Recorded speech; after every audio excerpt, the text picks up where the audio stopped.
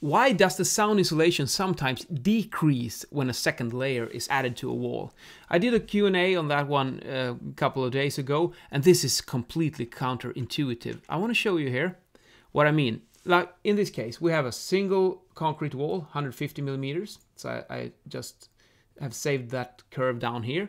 And then when we add a second layer like this, it's some wooden beams and a one layer of uh, gyps, gypsum, like so.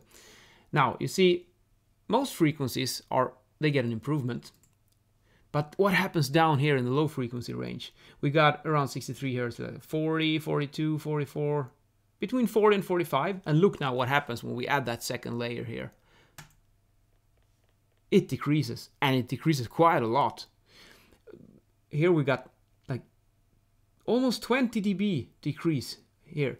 Now what's going on here? Because this makes no sense. If you add layers, you make the wall thicker and it should in theory, it feels like it should become better, right? Yeah, it's it's better up here, but not down here. So what's going on?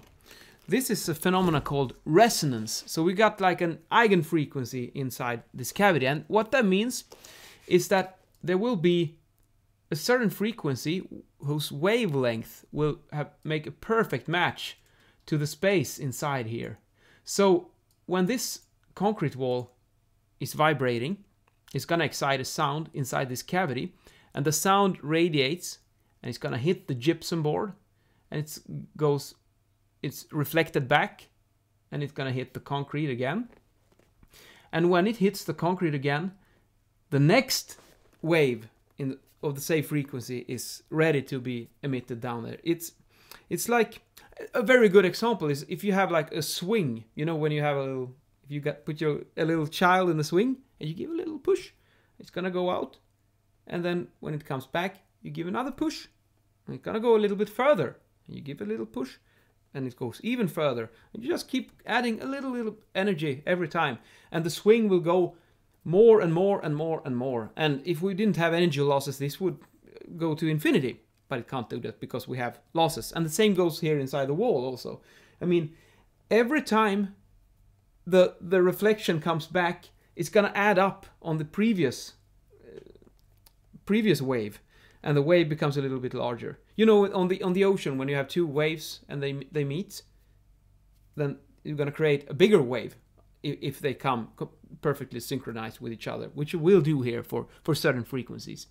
So here's another example, my, my little mass spring system. So, whoops, sorry about that. When I drop this one, not on the floor, but when I do like this, and I just let it go, you see it starts to bounce up and down with a certain frequency, which is dependent on the mass of this one and the spring stiffness. So, you see, I'm hardly exciting this one at all. I put no energy at all up here, and yet I get a lot of movement down here. And this is what we see here on the on the left, the, the resonance peak here.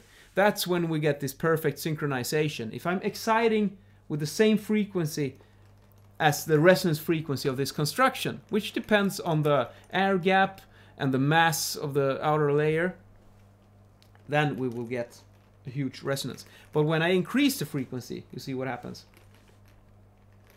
Now we're up here in the upper part of the curve, and here we got sound insulation. Oh, where's the camera? There, there we have it. So that's the reason why we can have this really counterintuitive phenomena. And uh, we need to make sure when we design our buildings so that we don't coincide with this one. So we, we want to get this dip as as low down in the frequency range as possible and we can do that by increasing the, the air gap and the, and increasing the mass but we don't want to go lower than necessary either because it eats up valuable space and it costs more to it, it becomes more expensive to to build a wall where you push this one down as low as possible. So there's always a compromise. Everything is a compromise. What you can also do is you could add some absorption inside this cavity. Let's see I can get it. There we have some. Now you see we still got the dip, but it's not that bad. It's it's dampened. And that that's the same thing that if, if we would do this, but in... Uh, maybe if we do it in, in, in water, it wouldn't be able to, to go up and down as fast as this. That would be like adding a damper that inhibits the motion. So that's um, some of the basic parameters we can fool around with. But this is important to know. You can get a decrease in sound insulation. How crazy it even sounds, but that's that's physics. And uh, in today's video, I ju just want to give a quick little style tip. When you have a watch and a belt, it's a good idea to to match the metals. So it's like silver metal on both of these. And I got some brown leather on both of them. Now it doesn't doesn't have to be a perfect match because that's very difficult to find exactly the same. But even if, if it's close enough, you get a really nice look when you got the same leather on your belt as on your wrist watch and the same metal. So you don't have a, a gold gold uh, bucket. What's it called? Buckle? No. This thing, I don't know the word. This thing, the metal on the belt. If this is gold, then it would be nice to have a golden watch as well, or silver, silver. That's way. And then, then of course, also if you add shoes, try to find shoes with the same leather color as these, and you you will create a nice harmony. It's also a kind of of resonance when you have the same color everywhere.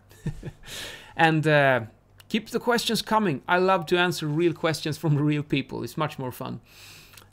Have a nice day, evening, or morning, or whatever. See ya.